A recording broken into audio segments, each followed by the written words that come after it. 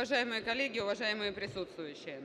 Безусловно, оппозиционный блок поддержит данную социальную инициативу.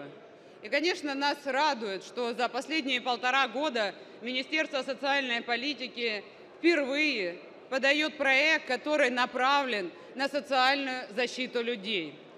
Обижает, честно скажу, другое, что данный проект касается только 719 человек в нашей огромной стране.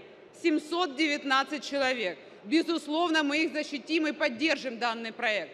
Но на чем настаиваем мы сегодня? Мы настаиваем на том, чтобы Министерство социальной политики и правительство срочно внесли в законопроект в парламент изменения в бюджет, касающиеся индексации пенсий и заработных плат.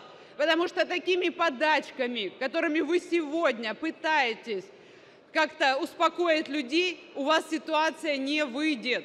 Люди сегодня не могут прожить на ту минимальную пенсию, минимальную заработную плату, которую второй год в нашей стране не пересматривают. Сегодня инвалиды первой, второй группы, инвалиды третьей группы не в состоянии купить себе лекарства, не в состоянии заплатить за тарифы, не в состоянии сегодня хоть как-то прокормить свои семьи, потому что те минимальные выплаты по нетрудоспособности, они не способны человеку дать возможность хоть как-то себя вылечить цены в аптеках растут. И мы настаиваем на том, чтобы мародерство на цены, на лекарственные препараты было остановлено.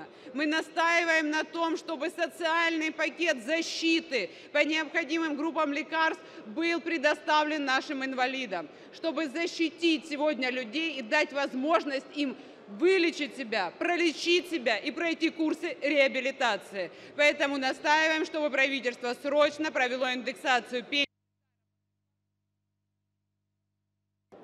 10 секунд завершуйте. Настаиваем на том, чтобы срочно правительство провело индексацию пенсий и заработных плат, индексацию выплат инвалидам и прекратило мародерство цен на